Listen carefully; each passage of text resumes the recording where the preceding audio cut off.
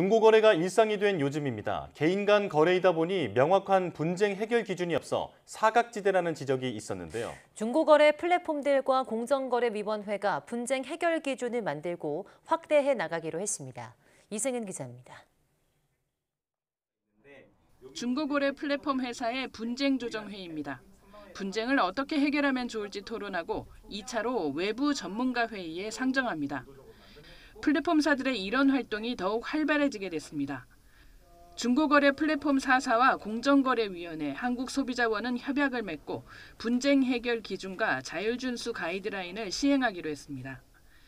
중고거래를 둘러싼 분쟁이 급증했지만 사업자와 소비자가 아니고 개인 간 거래여서 기존 피해 구제와 분쟁 절차를 활용하지 못한 한계를 극복하기 위한 겁니다.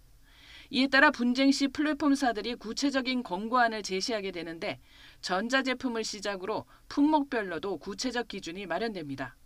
예를 들어 중고폰을 산 뒤 사흘 이내 중대한 하자가 발생했다면 수리비를 배상해 주거나 전액 환불하도록 권고하게 됩니다.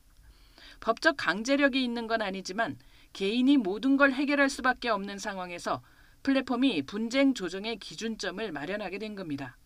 개인 간 거래에서 중고 거래는 이용자들끼리 해결을 해야 되는 것이었는데 이제 앞으로는 정부 가이드라인에 맞춰서 기업들이 적극 중재에 나서서 보다 따뜻한 중고 거래를 해 나가실 수 있을 것 같습니다.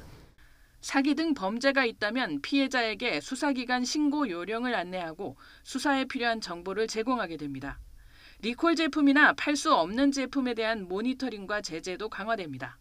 사업자들도 스스로 그 이행 여부에 관한 실태를 모니터링하고 그거를 정부와 공유하기로 그 약정에 또 내용이 되어 있습니다. 어, 저희 정부도 어, 모니터링을 통해서 이행 여부를 어, 면밀히 살펴볼 계획입니다.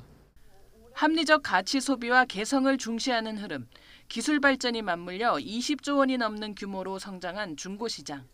신뢰 확보를 통해 더 큰 도약을 이룰지 주목됩니다. YTN 이승은입니다.